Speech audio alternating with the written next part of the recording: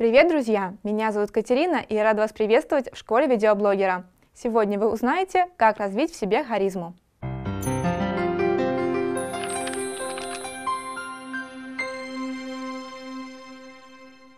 Многие считают, что харизма – это врожденное качество, своего рода дар или талант, который достается лишь избранным.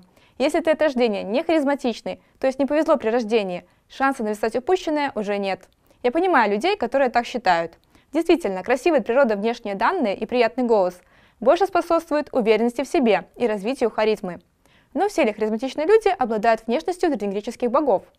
Если вы обратите внимание на знаменитых комедийных актеров, а ведь согласитесь, без харизмы в этой сфере добиться успеха невозможно, то вы поймете, что все они очень разные, и внешность их не всегда соответствует эталонам красоты, принятым в обществе.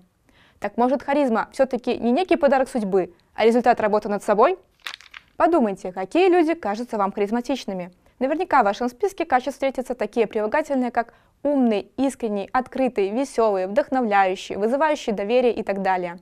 На самом деле нам кажутся харизматичными те люди, которые приняли себя такими, какие они есть. Они ведут себя естественно, они могут посмеяться над собой, могут признать свои ошибки. Именно это и заставляет тянуться к таким личностям.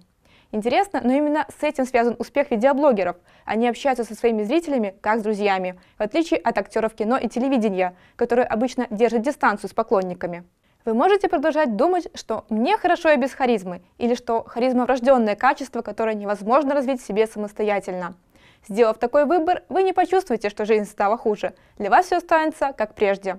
Для тех же, кто решил работать над собой, следующие советы.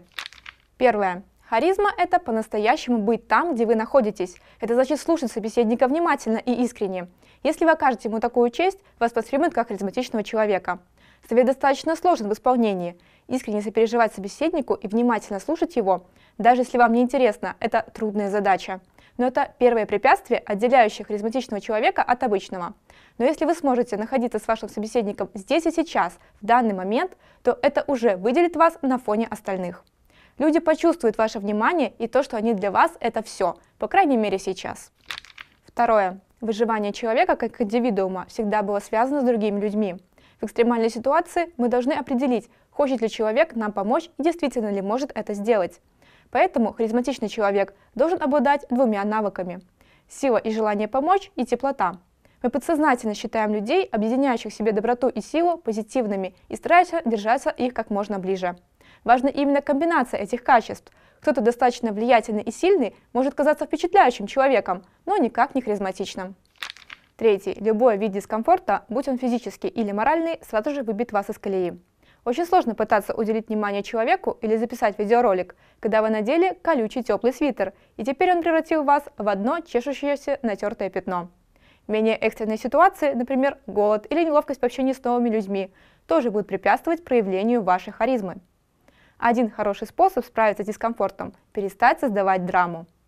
Тысячи людей оказывались в неловких ситуациях, знакомились с новыми людьми или чувствовали себя некомфортно в присутствии кого бы то ни было.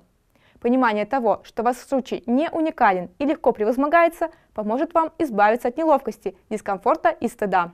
Последнее важнее всего. Когда вам стыдно, вы не можете быть харизматичным, даже если будете пытаться. Помните, что все ситуации, через которые вы проходите, это нормальное явление, реакция на которое обусловлена нашими механизмами выживания и эволюции. Каждый может быть харизматичным. Харизма – это совокупность языка тела и опыта работы над собой и своими коммуникативными навыками. Для того, чтобы набраться уверенности, нужен опыт, поэтому не стесняйтесь общаться как можно больше.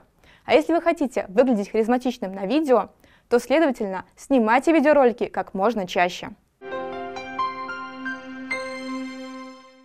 Сегодня вы узнали, как развить свою харизму. Пишите в комментариях, были ли полезны данные советы. А также можете поучаствовать в вопросе, который сейчас появится в верхнем правом углу. Если видео вам понравилось, ставьте лайк и делитесь им с друзьями. И, конечно же, не забывайте нажать на колокольчик, если все еще этого не сделали. Всем спасибо за внимание, всем пока! Thank you